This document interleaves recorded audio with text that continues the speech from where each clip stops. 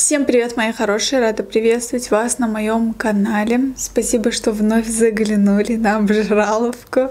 Сегодня мы с вами будем кушать вот такой вот салат. Ссылочка будет внизу. Если вы внизу не найдете, это значит, что в скором времени рецепт будет.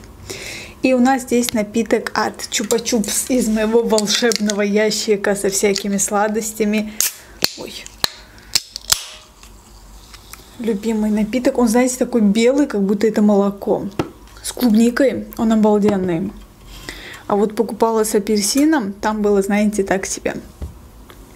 Давайте начнем пробовать. Все, наверное, не съем.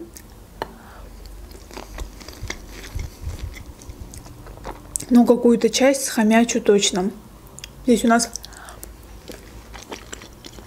рис. А, нет, это не рис огурчик здесь у нас, грудка.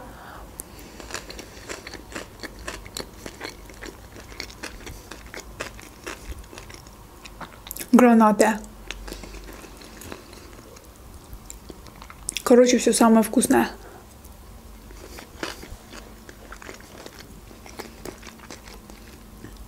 Сейчас все, наверное, начнут писать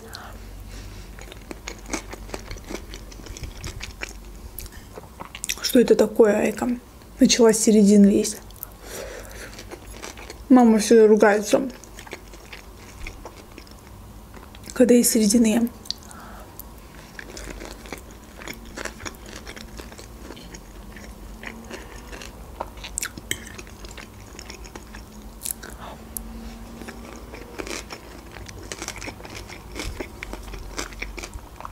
Сегодня должна увидеться с подругой снимаю для вас влог. Хочу себе купить шапку. Но вы знаете, не хочу покупать, что попало. Есть конкретная модель, которая мне нравится. У нас вообще в Азербайджане многие не носят шапки, потому что максимум температуры это минус один, и в принципе не холодно.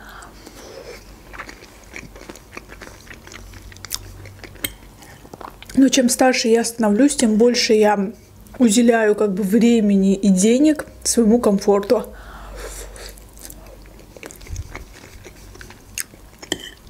В седьмом классе я жила в России, я вообще ходила без шапки, мне казалось, я выгляжу безумно круто. Каждое утро мыла голову.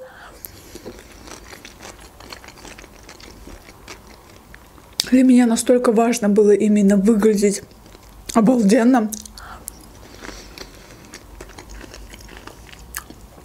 Короткая юбка. А сейчас я как пенсионер. Не помню, когда последний раз надевала короткую юбку.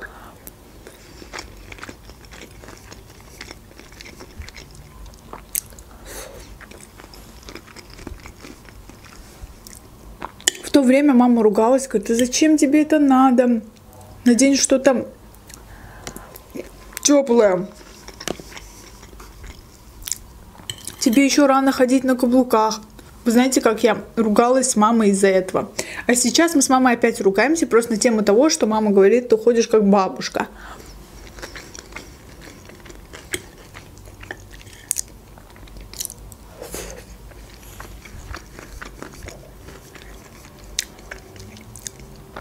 Выбрала одну куртку. Просто длиннющая, ниже колена. Теплая, как будто одеяло. Хотела померить.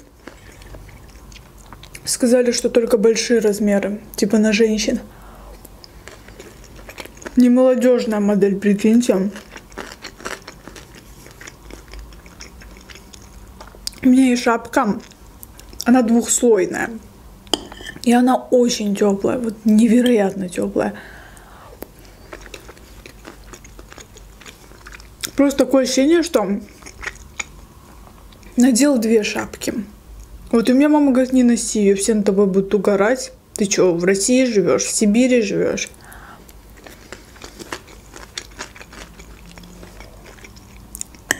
Мне так нравится зима, где-то в такой теплой шапке. Все от холода дрожат. А ты такой весь потный идешь. Я жуткая мерзлячка, вы знаете, даже я сдавала анализы.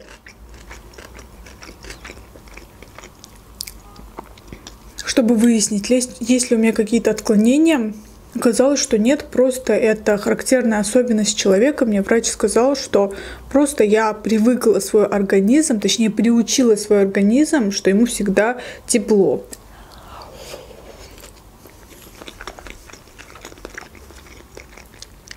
Он мне объяснил, что это то же самое, что, например, какой-то египтянин приезжает, например, в Россию в октябре,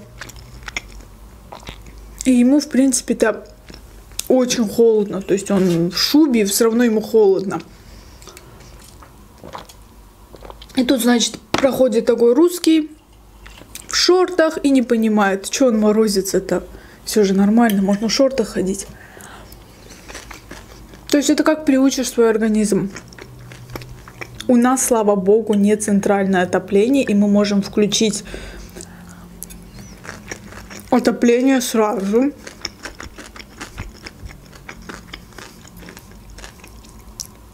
На улице там 15 градусов, уже все, отопление.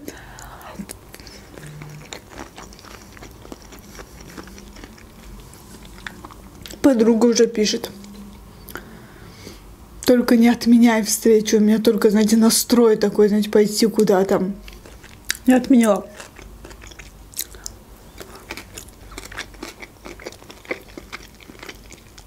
Иногда проблемы у человека со здоровьем не лечатся вовремя. Поэтому я сторонник того, что нужно чаще ходить к врачам, чаще проверяться, проходить обследования – и все дела. У нас соседка в деревне, девушка, вышла замуж в 27 лет. И получается, вот сегодня она вышла замуж, на следующий день она умерла. Или через день. И все были в шоке от того, что как молодая девушка могла просто сразу умереть.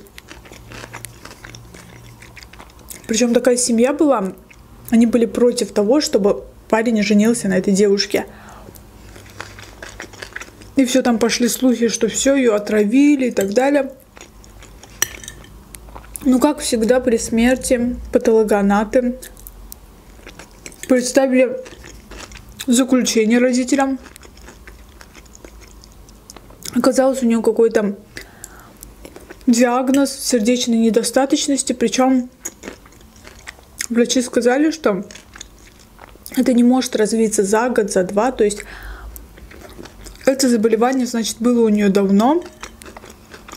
Потом родители вспомнили, что действительно она, немного жаловалась на то, что у нее иногда вот прям колет в области сердца, когда она волнуется и так далее. Никто не придавал этому особое значение. То есть немножко болит, потом все нормально.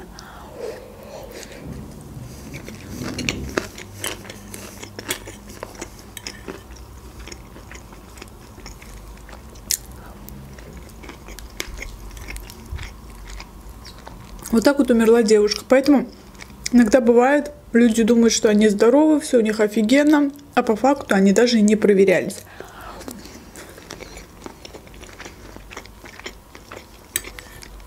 Можно купить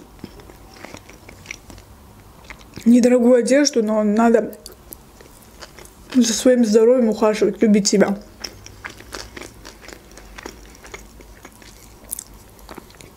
Вкуснотища, очень вкусный салат. Он предназначен вообще для всей семьи на общую тарелку.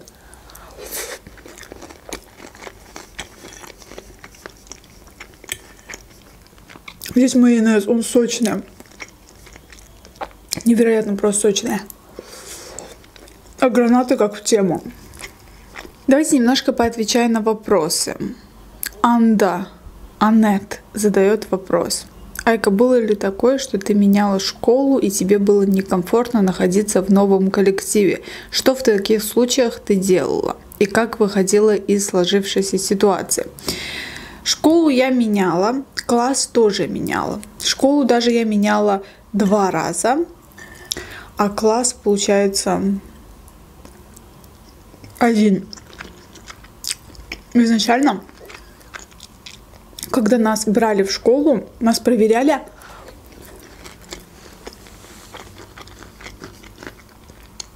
на знания. Если ты сильный ребенок, то тебя в А класс отправляли, где все сильные были. Проблема заключалась в том, что вопросы, по которым тебя проверяли и направляли в тот или иной класс – Вопросы были в основном на логику и по математике. А это все было для меня очень легко. Но русский язык я знала очень плохо. Поэтому получилось так, что меня посадили в сильный класс – Я ненавидела перемену. Каждую перемену мне было максимально некомфортно. То есть я мечтала, чтобы перемена закончилась. Потому что я ни с кем не дружила. Просто сидела ровно за партой. Никогда не бегала в коридоре. Я не могла найти общий язык со своими одноклассницами, просто потому что я плохо говорила на русском. Мне было ужасно стыдно говорить с акцентом. Я себя чувствовала как чушка, если честно, мне было некомфортно. Вот.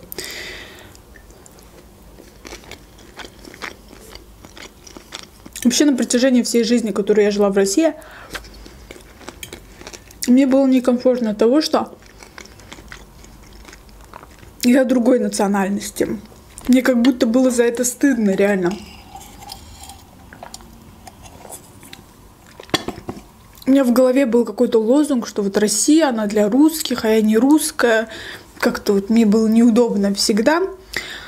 Не знаю, с чем это связано, ну, как-то так. Но сейчас я себя чувствую максимально комфортно в Азербайджане, потому что в Азербайджане вообще нету такого понятия, как нацизм.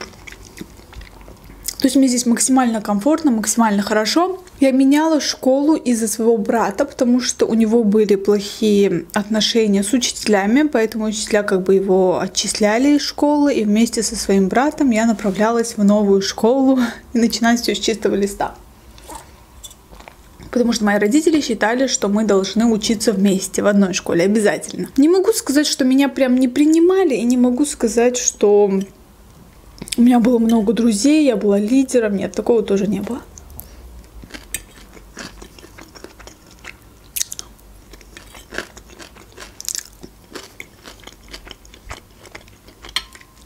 Просто могу сказать так. Я рада, что универские годы и школьные годы, они закончились. Потому что дальше все зависит только от вас. А в эти годы вы как-то зависите от родителей. Поэтому я рада, что все это закончилось. Я даже не хочу возвращаться в детство. Слава богу, что оно там где-то забыто и закончено. Я наелась. Всех люблю, целую. С вами была Эмили. Всем пока.